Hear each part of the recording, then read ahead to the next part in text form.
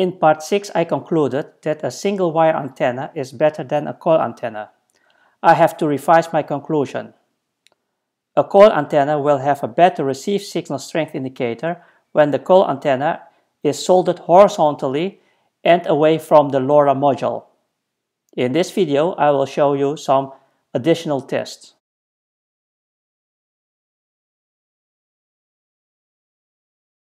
This is a LoRa module with a wire antenna. The wire antenna is 86 mm long for 868 MHz.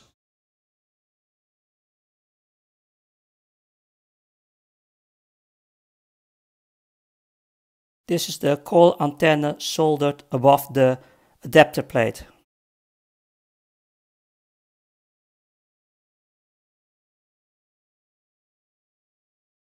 Here is the coil antenna soldered horizontally but away from the module.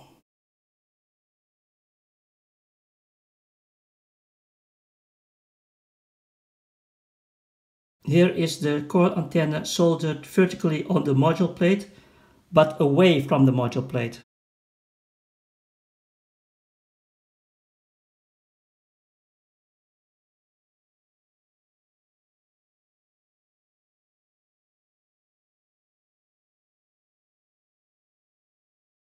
The coil antenna is vertically mounted on the module plate.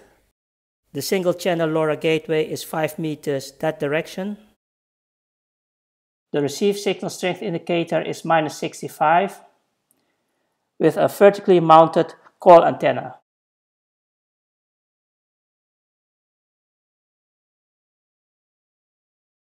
I have created several tests and the purpose is to measure the received signal strength indicator when changing the antenna orientation. This is the single channel LoRa gateway where the antenna always points up. This is the LoRa node without the microprocessor, so you can easily see the antenna. The distance between the gateway antenna and the LoRa node antenna is approximately 5 meters. In all test cases, the distance remains the same and there is always direct line of sight. This is test A. The LoRa node has a coil antenna horizontally oriented and away from the LoRa module. The coil antenna is perpendicular to the gateway. The C signal strength indicator is minus 46. This is test B with the same coil antenna as test A, but the coil antenna is pointing towards the gateway. The receive signal strength indicator is minus 47. This is test C the LoRa node has the same coil antenna as test A, but the coil antenna is pointing away from the gateway. The received signal strength indicator is minus 46. This is test D. The LoRa node has a coil antenna which is vertically oriented and the received signal strength indicator is minus 63. This is test E. The LoRa node has a coil antenna which is horizontally oriented but above the LoRa module the received signal strength indicator is minus 68. This is test F. The LoRa node has a wire antenna which is 86 millimeters long for 868 megahertz. The received signal strength is minus 50.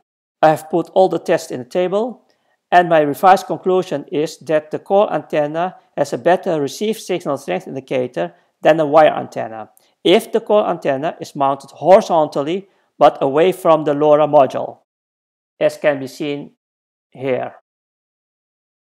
Here's a better overview.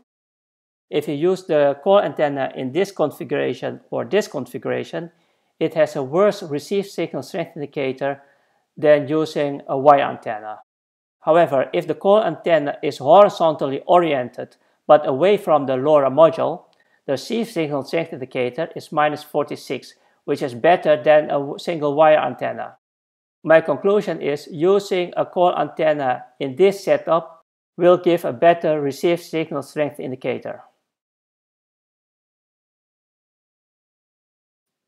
Thanks for watching. I hope you enjoyed the video.